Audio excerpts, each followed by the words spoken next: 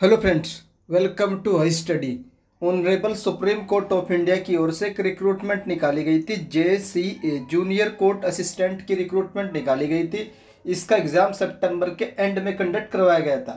और आप लोगों की जो आंसर की है वो दस अक्टूबर तक देख सकते थे। आंसर की चेक करने के बाद से honourable Supreme Court of India की ओर से रिज़ल्ट के रिगार्डिंग कोई भी नोटिस नहीं दिया जा रहा था। अक्टूबर, नवंबर, दिसंबर, जनवरी, फरवरी, मार्च, लगभग लगभग पाँच महीने से भी ऊपर का टाइम हो चुका है और इसके रिज़ल्ट के regarding honourable Supreme Court of India की ओर से कोई भी इन्फॉर्मेशन नहीं दी जा रही थी। आप लोग भी कमेंट करके पूछते रहते हैं कि सर रिज़ल्ट कब आएगा डिस्क्रप्टिव कब होगा? तो फाइनली आप लोगों का जो वेट है वो खत्म हो चुका है और जो honourable Supreme Court of India ने जो आप लोगों का एग्ज़ाम कंडक्ट करवाया गया था, उसका रिज़ल्ट जारी कर दिया गया है। आप लोग चेक कर सकते हैं।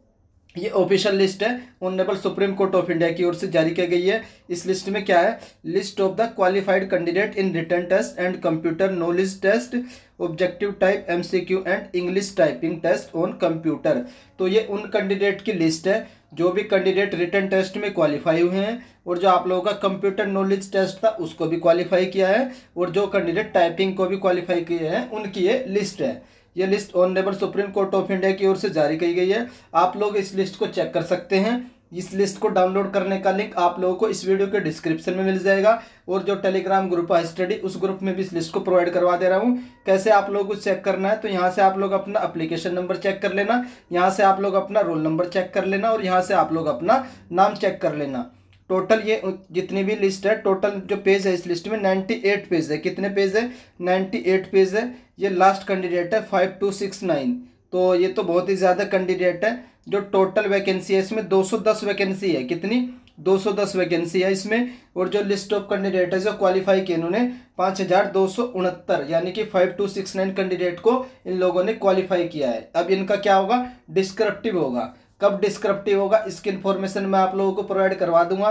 क्या क्या डिस्क्रिप्टिव में होगा डिस्क्रिप्शन की प्रिपरेशन कैसी करनी चाहिए। अगर आप लोग चाहते हैं कि सर हमें गाइड कर दीजिए डिस्क्रिप्शन पेपर के लिए क्या क्या करना है कंटेंट कहाँ से मिलेगा क्या क्या उसका पैटर्न रहेगा, उसके लिए आप लोग मुझे कमेंट करके बता दीजिएगा। मैं आप लोगों के लिए जो डिस्क्रिप्टिव है, उसके लिए एक स्ट्रेटजी वीडियो बना दूँगा कि आप लोगों को डिस्क्रिप्टिव की पेपर जो प्रिपरेशन है वो कैसे करनी चाहिए। उसके बाद एक डाउट आप लोगों का ये आ रहा है कि सर हम अपने मार्क्स कहाँ से चेक कर सकते हैं? आप लोग अपने मार्क्स कहाँ से चेक कर सकते हैं? टाइपिंग में हमें कितने मार्क्स मिले हैं? और कंप्यूटर का जो पेपर हुआ था, उसमें हमें कितने मार्क्स मिले? ये सब कहाँ से मिले हैं? तो मैं जल्दी आप लोगों के लिए एक वीडियो बना दे रहा हूँ। इसके बाद वो वीडियो आ जाएगी, जिसमें मैं आप लोगों को बता दूँगा कि आप लोग अपने मार्क्स कैसे चेक कर सकते हैं? टाइपिंग के नंबर कैसे चेक कर पाएँगे? अभी तक की यही अपडेट थी, काफ़ी समय से आप लोगों का वेट हो रहा था। तो मेरी तरफ़ से आप लोगों को कॉन्ग्रेचुलेशन है, जिन भी कैंडिडेट ने इस लिस्ट में क्वालिफाई किया है। बहुत ही प्रिस्टिशियस जॉब है जेएसए की बहुत अच्छी पोस्ट है ये जूनियर कोर्ट असिस्टेंट की। बहुत ही अच्छी जॉब मानी जाती है।